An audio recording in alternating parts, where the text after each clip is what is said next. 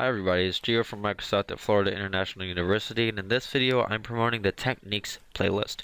So in the Techniques playlist I'm going to teach you very cool techniques such as the ones you're currently seeing.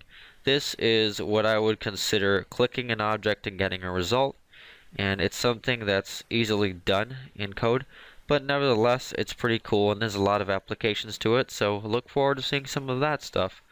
I'm now also showing you another game I made called Parachute Kings, and in this game I implement several techniques. However, the main technique of this game is falling from the sky.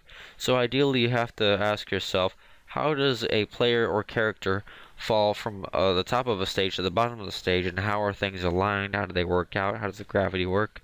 Now, in this game, called Shuttle Jump, which I also made, I implement another technique that I created, well, more or less created, um, called, you know, I don't know what it's called, but this technique involves pressing a button and having a power meter.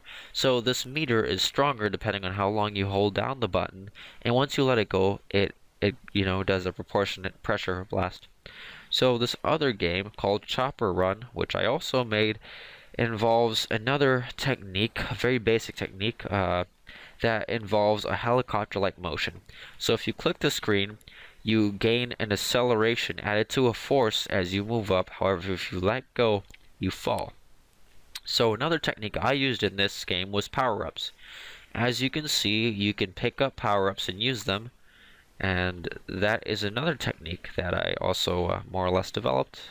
Now, when I say developed, I didn't actually make these techniques. I just found ways to do them and use them. And I I used these without the consultation of anything construct or without going to any manuals. I just made these on the spot.